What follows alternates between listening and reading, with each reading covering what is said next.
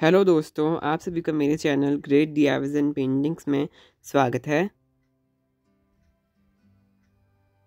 आज मैं एक ऐसा क्राफ्ट बनाने जा रहा हूँ, जो कि कॉम्बिनेशन है क्यूलिंग आर्ट और मांडला आर्ट का।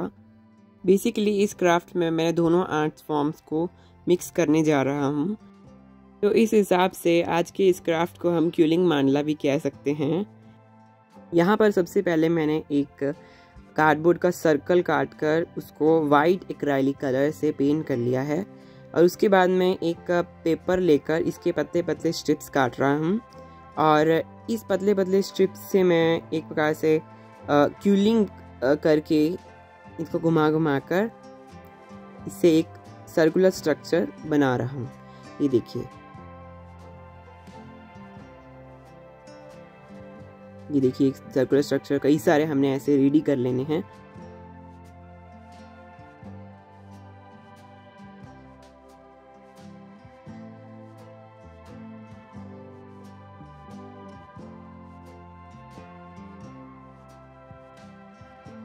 ये जो सर्कल आप देख रहे हैं, ये थोड़ा मैं इसको थोड़ा चौड़ा बना रहा हूँ। मतलब एक बार करके थोड़े मैंने कुछ चौड़े सर्कल बना लिए और कुछ थोड़े पतले सर्कल बनाए हैं। और जो, ये थोड़ा थोड़ा सा, थोड़ा बड़ा सर्कल है, इसको और बड़ा मैं कर रहा हूँ, एक और स्ट्रिप लगा के। तो आप इसको अपने हिसाब से ऊपर नीचे कर सकते हैं। अगर आप इसको थोड़ा बड़ा सर्कल चाहिए तो आप और स्ट्रिप्स लगा के, और स्ट्रिप्स लगा के इसको बड़ा कर सकते हैं या फिर छोटा ही रहने दे सकते हैं। तो ये आपके ऊपर डिपेंड करता है। तो यहाँ पर मैंने ऐसे ही एक बड़ा, कई मैंने बड़े सर्कल बनाए हैं और कई मैंने छोटे सर्कल बनाए हैं। और इनको मैं बीच में अब चिपका रहा हूँ।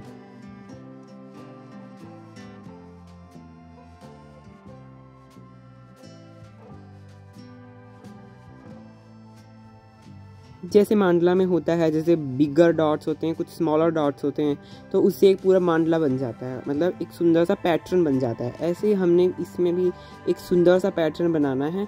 बट हम यहाँ पर ऐसे ये क्यूलिंग वाले जो पीसीज हैं सर्कुलर इनको यूज़ इनका यूज़ करेंगे।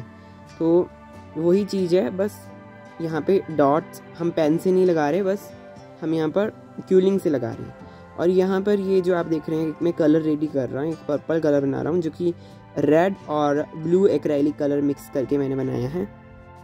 इस कलर से अच्छे से पेंट कर लेंगे। एक से दो कोट हम इसमें कर ही लेंगे ताकि थोड़ी अच्छी फिनिशिंग आ जाए।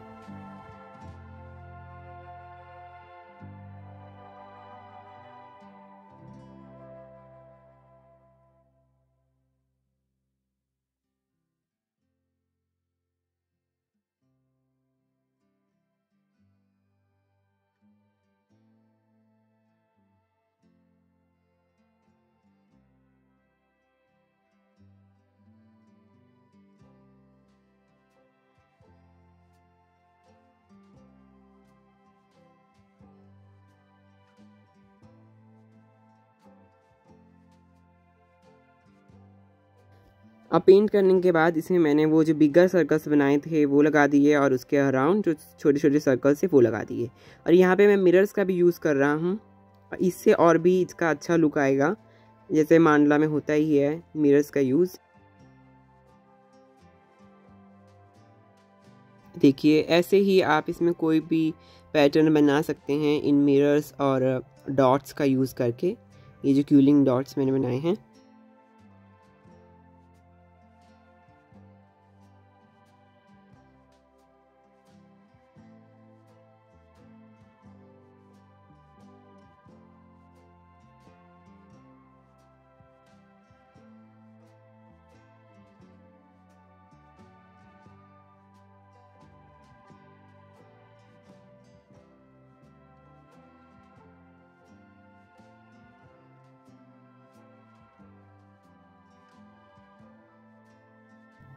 ये देखिए अभी ये बनकर रेडी है ऑलमोस्ट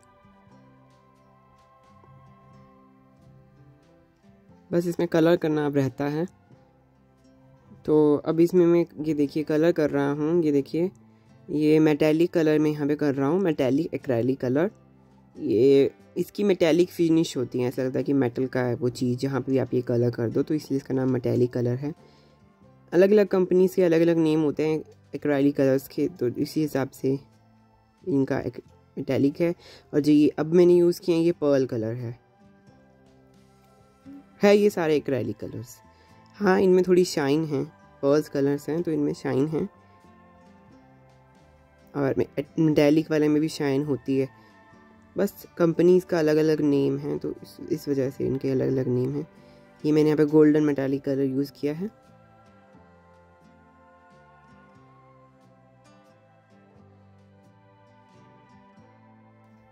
बस कलरफुल सा मैं इसको बना रहा हूँ। ऐसा। अगर आप चाहते हो कि ये वाइट ही रहे तो आप वाइट भी रख सकते हैं, बिना कलर करे। वो भी एक अच्छा लग रहा था, क्योंकि नीचे इसमें डार्क बैकग्राउंड है तो उसमें वाइट भी सिंपल तब भी अच्छा लग रहा था, और कलरफुल तो अच्छा होता ही है। ये देखिए।